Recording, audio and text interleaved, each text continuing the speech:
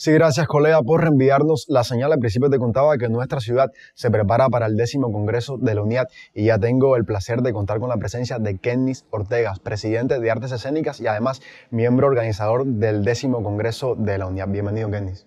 Muchas gracias, un placer estar aquí una vez más con ustedes. El placer es nuestro. Kennis, desde esta doble función, ¿cómo ven los preparativos para este Congreso?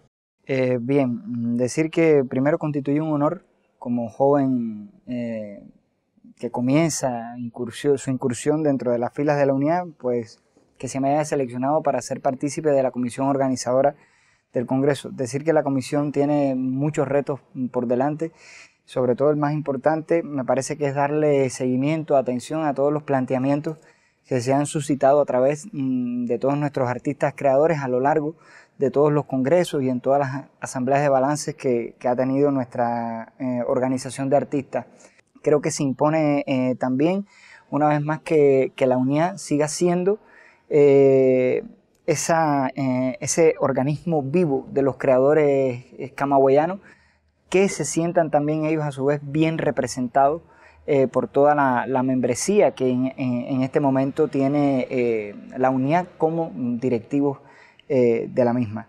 decirte que la comisión organizadora eh, se ha movido por diferentes ámbitos. Por ejemplo, en el caso de la enseñanza artística, estamos atendiendo todos los temas relacionados con la formación de los estudiantes, los, procesos de enseñanza y también con todas em, las carencias de índole material que hoy lastran todos los procesos creativos eh, de la enseñanza artística. Bueno, Kenny, muchas gracias por estar acá con nosotros y éxitos en este décimo congreso que Un placer y que el arte siga siendo nuestro principal aliciente. De verdad que sí.